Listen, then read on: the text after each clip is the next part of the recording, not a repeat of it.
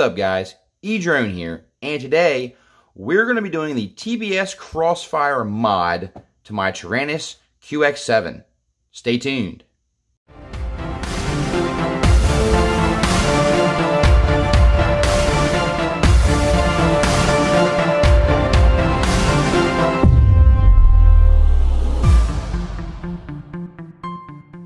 This is the Taranis QX7 radio. This is my main radio for all my FPV drones, and this radio is quite awesome. I really like it. Uh, it's been doing a really good job.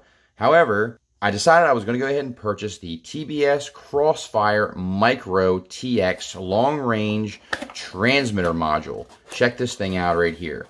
So this is the micro size, which is really nice because it's extra compact and if we turn the Taranis QX7 over, you can see it has this little back port here. This little back door pops open. Uh, this is a little cable I made to do uh, firmware updates for uh, FrSky receivers.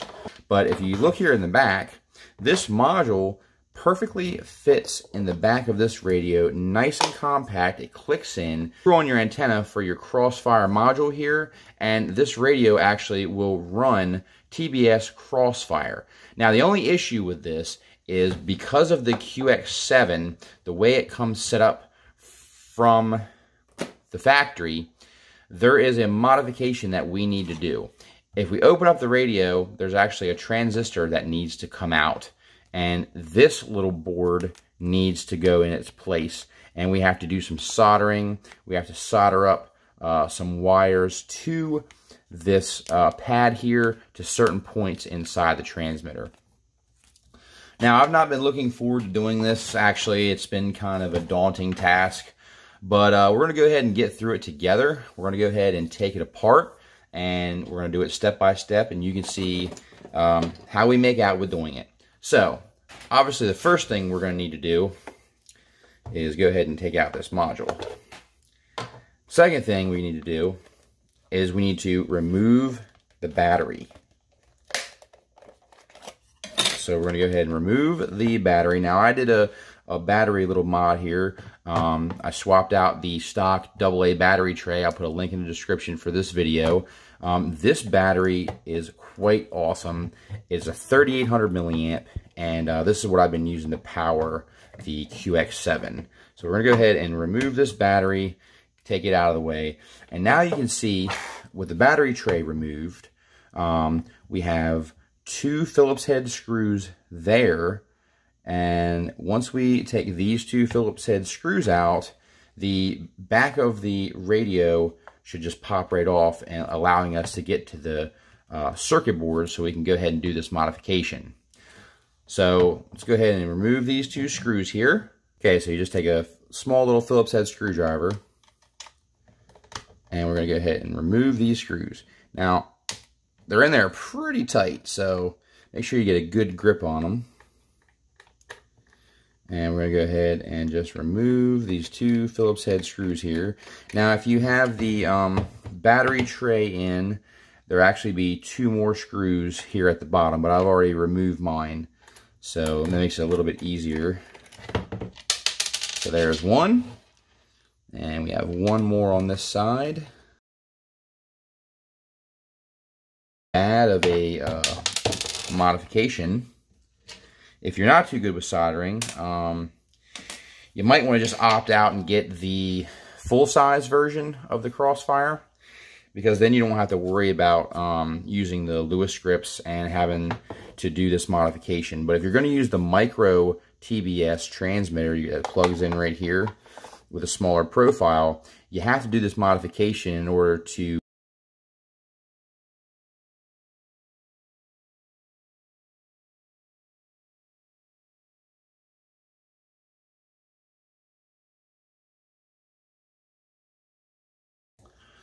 Okay, so we have the screws removed.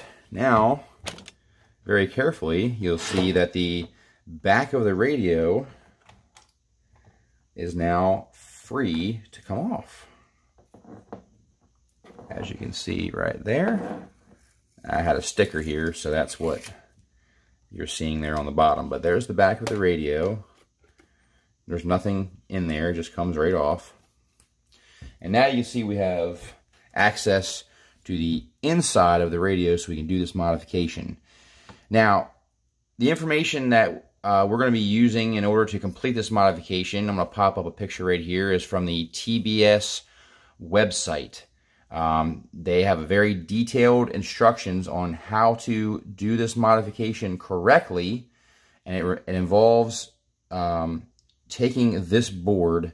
We're going to have to flip it over to get to the transistor that we need to remove, and we're going to remove these screws to pull this board out so we can go ahead and get gain access. Taking a closer look at the board, this is the area we're going to be working in.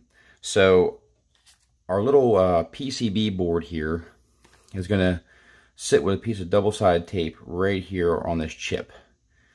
Then we're going to be wiring the ground wire right here to the ground. We're going to be wiring the 3.3 volt wire here. And we're also going to be wiring to this pin right here. And then there's another wire that's going to go on the back side of the board where that transistor is. So what we need to do is we need to unscrew these screws holding in this main PCB board so we can gain access to the other side. So let's go ahead and remove those screws. Okay, we went ahead and carefully removed the screws holding on the main power board. Now, we need to kind of slowly and gently work this board up loose off of where it's sitting because it's kind of sitting in here a little snug. So we're just going to kind of move this board a little bit, being very careful we don't uh, damage any wires. Just slowly just move the board just like so, so you get it loose. Now, once you get it loose, we should be able to flip this board. Now, see the little vibrator here? That's a little vibrating. That's what you feel when the Taranis vibrates. That's going to come right up off of the, the piece there. And don't worry about your knob. See how the knob fell off? That's, that's not a big deal. Um, you're going to lift this board up and we need to get access to the back side and wash your ribbon cables obviously. So now that we're on the back side of the board now I can show you uh, what needs to be removed and where we're going to be soldering to. Right here at the top. Right here at the top. Let me get my you'll see a little transistor right here and it's labeled Q400. This needs to be removed. Um, and you can try to, to, to heat it up and desolder it, but really the best way is to just grab a hold of it and uh, just kind of break it off. That seems to be the best way. Notice that we're not undoing any of the cables on the board, okay? And I don't think we're going to need to do that. There we go. So we got chip there. We were able to get some of it off. So some of it chipped. Let me see what I can do and we'll, uh, we'll cut back and show you when, it, when it's all removed. You can see where I scraped it off, where it says Q400. That's exactly what you want to do. You want to just scrape and pull off uh, that transistor. And once that done, once that's done, uh, you're basically ready to go ahead and uh, start installing your new mod. Now we're just going to be using some uh, spare silicone wire to do this mod. Uh, this is like an extra camera wire platform that came in uh, one of my kits that's just extra. I always save all my wires. So basically we're going to need four different wires. Um, and I'm going to use this white wire here that came from one of my uh, ESCs. And um, that way we have four different colors. That way it keeps it a little bit less confusing when we go to wire this guy up. Need to solder the wire to this little solder joint right here on the Q400 where we remove that transistor. So we're going to solder a wire to here and then we're going to run that wire uh, down and around and over to where we're going to put the board on the front side which for here is going to be right where this chip is. So you need to make sure you have enough wire to reach. So this is right about where it's going to be. If I flip this wire around, we have plenty of wire to reach. So I think it's going to be easier to um, solder all the wires to the main control board first, and then we will solder them to the little micro board that we're going to put right here. Uh, and that'll be the last part, and then we'll be done. So I'm going to add a little bit of fresh solder to that soldering joint. But we definitely don't need a lot because it's a very small joint. And we're using a pencil tip. We're using a very fine point soldering iron here. So, you want to have a nice steady hand and hold get some pre-tinning going on here pre-tin that tip I'm just going to add a little bit of fresh solder right here to this pad all right there's a little bit of fresh solder it's such a small pad you really you really don't need a lot so we'll take our little wire here. Let's go ahead and um, let's go ahead and pre-tin the little white white wire here. So I'm just gonna take the wire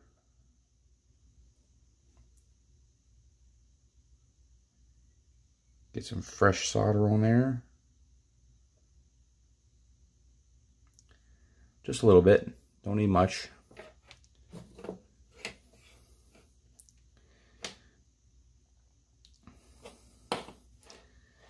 Now,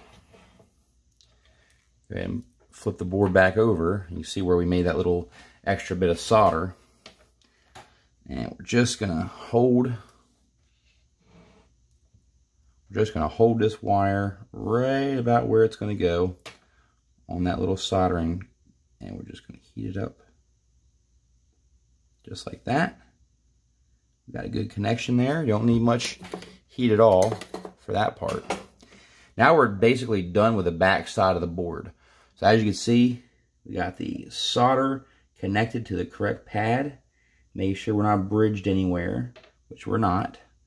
So we're going to take this wire, and I'm actually going to run it right around here like so. So that way it, it comes right underneath of where it connects to the screw hole. So you can see the wire coming out here on the side. And we just want to make sure that we don't get the, uh, make sure that the screw doesn't um, pinch through this wire when we go ahead and screw it back in. I'm going to go ahead and solder up this little control board here. And I like that it's nice and clearly labeled. We have our ground, our 3.3 volt, our input, and we have our output. So four pads, we'll go ahead and solder those up. I'm going to use our helping hands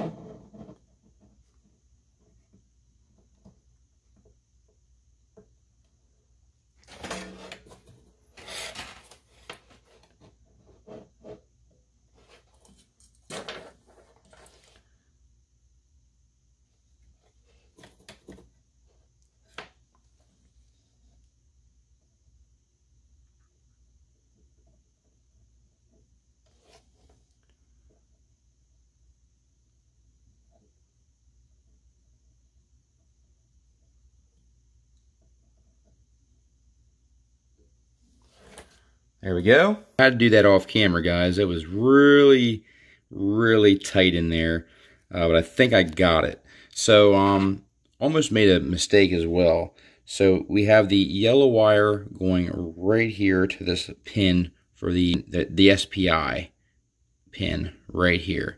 You have the ground wire going to this side of this little transistor. Now what I confusingly did was you see where it says ground right here, and then there's a little, small little pad. So I was thinking that you solder the ground wire to this pad, but you don't. You actually solder the ground wire to this side of this little capacitor. Same thing on this side. You see where it says 3.3 volt?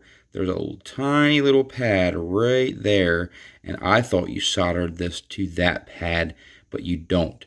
You solder the power wire, the 3.3 volt, to this side of this little capacitor here. So don't make that mistake. Uh, very easy mistake to make. Uh, but after watching uh, several videos and doing some more information online, um, come to find out that you have to solder to the sides of this little capacitor here. So now that we have these all soldered up, plus our um, wire on the back side, we're now ready to go ahead and mount our um, little control board here. We're now ready to mount our little control board and go ahead and get it soldered up and then we'll be all done with this mod. You see we got it all wired up now. You got the red wire going to the 3.3, black wire ground going to the ground the other side of this little uh, capacitor here. You have the yellow wire, which is the in, going to the um, SPI pin right here. And then you have the out going around to the back side of the board uh, where that we remove that transistor uh, on that solder pad on the left side. And that's supposed to be it. Uh, put some double-sided tape on the other side of the um, little uh, PCB mod here. And we're going to go ahead and put the back back on, screw it down, and power it up and give her a test, and hopefully everything works great. A moment of truth. Hi, Eric. Welcome back. Switch warning. Okay.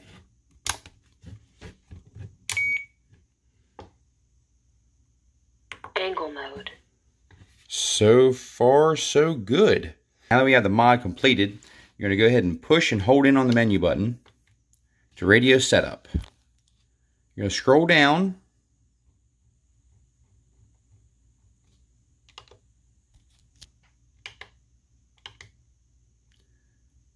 Okay, now that we have the mod done, go ahead and push the menu button, page over to setup. You're going to come over here to where it says internal RF. You're going to turn this to off.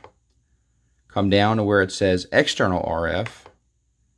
And you're going to scroll over till you see CRSF for crossfire. We're going to enable that. Now, I'm going to go ahead and plug in our crossfire module. Going to go ahead and screw on our Immortal T antenna onto the module. Power on the radio. The uh, Crossfire module should go ahead and power up now that we have the external RF to on. Hi, Eric. Welcome back. Angle mode. Let's take a look at the back. You see the external module is powered up and it's got like a yellowish light, which means it's uh, it's not bound yet. What we want to see is a green light when we get it bound. But we're going to bound it, bind it in another video. But I uh, just wanted to show you how to do that Crossfire mod for your Taranis QX7. Um, pretty simple to do, not too bad. Um, just make sure you have a nice soldering iron with a nice uh, pencil tip, really fine point tip. And um, now that we have this done, we can get go ahead and uh, get ready to dive into the crossfire and, and get everything all set up and get our receiver uh, bound, which is supposed to be uh, uh, easier than the um, traditional FrSky. But thank you guys so much for watching. Please like, share, and subscribe. More Crossfire videos to come, so stay tuned to the channel. Until next time, guys, E-Drone out.